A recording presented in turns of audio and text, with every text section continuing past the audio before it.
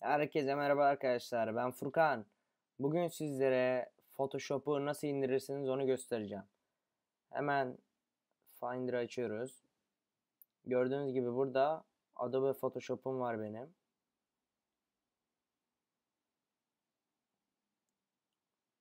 Gördüğünüz gibi arkadaşlar Photoshop CC 2015. Fakat bu demo. Bu lafı duymak istemezdiniz ama demo ne yazık ki deneme sürümü.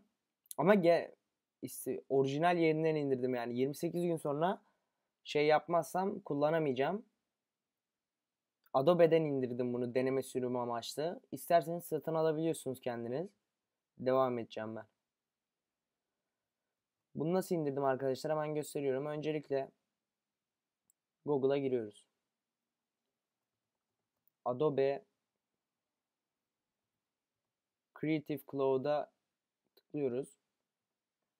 Ve adobe.com.tr olana giriyoruz işte.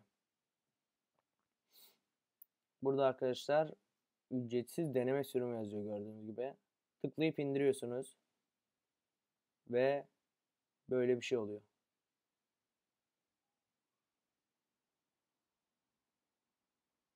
Bug'a girdi.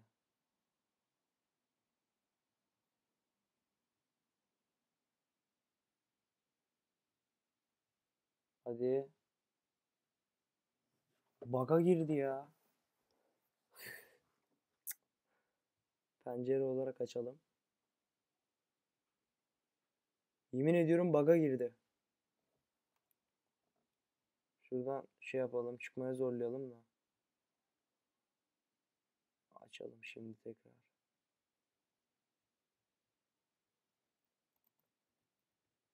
Creative Cloud. Tamam.